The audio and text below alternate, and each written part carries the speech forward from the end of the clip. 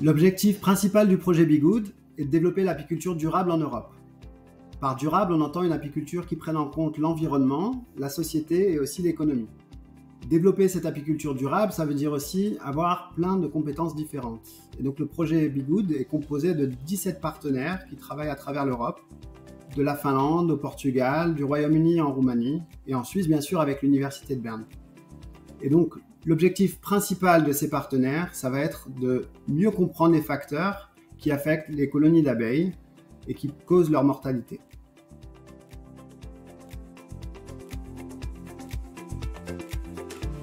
D'un point de vue scientifique, l'un des gros avantages du projet Bigood, c'est son côté multidisciplinaire.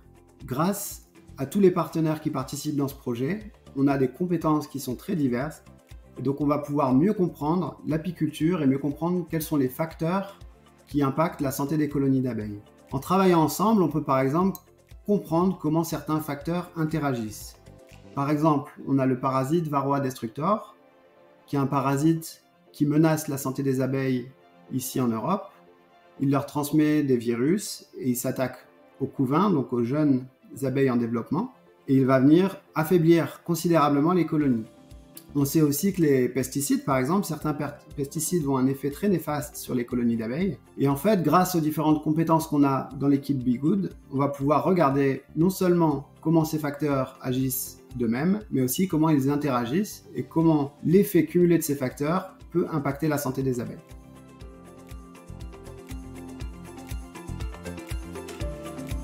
On connaît bien le rôle central que jouent les abeilles et les pollinisateurs en général dans l'environnement, mais aussi pour l'agriculture et pour l'économie. Les abeilles, en pollinisant les fleurs, vont pouvoir garantir leur reproduction, elles vont pouvoir garantir la production de fruits et légumes, par exemple. Et donc, le projet Bigood, qui vise à assurer et à améliorer la santé des abeilles, vise aussi à assurer qu'on puisse continuer à bénéficier des services écologiques et écosystémiques qu'elles nous rendent.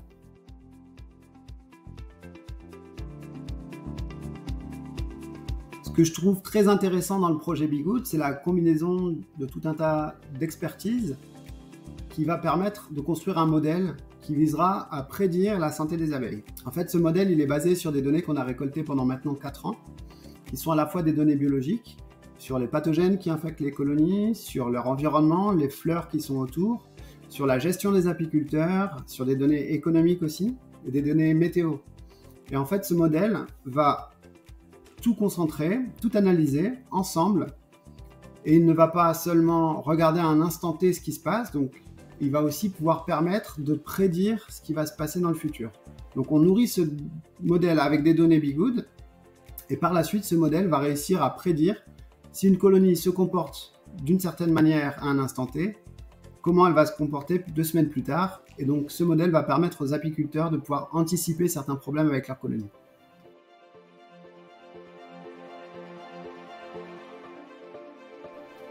Au niveau des challenges, il y en a deux qui me viennent en tête. Le premier, c'est de réussir à travailler tous ensemble, qui a été quelque chose de parfois compliqué à mettre en place, parce qu'on a à la fois dans le projet des ingénieurs, on a différents scientifiques, mais aussi on a travaillé avec des apiculteurs et euh, plusieurs autres personnes. Et donc on a réussi au fur et à mesure du projet à pouvoir se comprendre, parler la même langue. Donc ça, ça a été un des premiers challenges, je pense mais on a bien réussi à le faire et je pense que ça a été vraiment un succès là-dessus et ça a été très enrichissant pour tout le monde. Et le deuxième challenge, je pense que ça va être, euh, et c'est en ce moment dans l'analyse des données. Donc, comme je disais, il y a vraiment beaucoup de données qui sont récoltées dans le projet, de plein de données différentes. Et donc, c'est de les analyser, de pouvoir les incorporer dans le modèle et aussi de comprendre euh, ce qu'on observe et ce qu'on a récolté. Donc, ça, c'est vraiment un autre challenge. On a par exemple des outils connectés dans nos, ruches qui mesurent leur température ou leur poids. Et donc ça, ça envoie des données toutes les 15 minutes euh, pendant toute l'année. Et ça fait trois ans que ça fait ça. Et donc on a 350 colonies qui sont connectées à travers l'Europe avec ces outils-là. Et donc ça génère un tas de données assez impressionnant.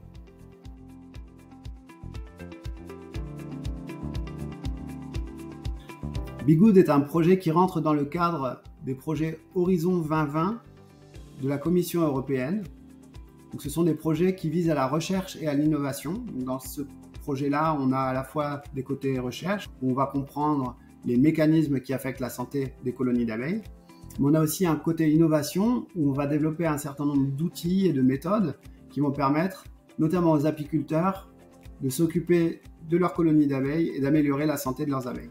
On a par exemple développé des tests qui permettent de détecter des virus ou des pesticides et qui ressemblent à des tests Covid, comme on a pu faire pendant un certain nombre d'années depuis 2020. Et donc ces outils-là vont permettre un diagnostic assez rapide sur le terrain. Et donc c'est ces outils-là qui vont être aussi euh, rentrés dans le cadre de l'innovation du projet Big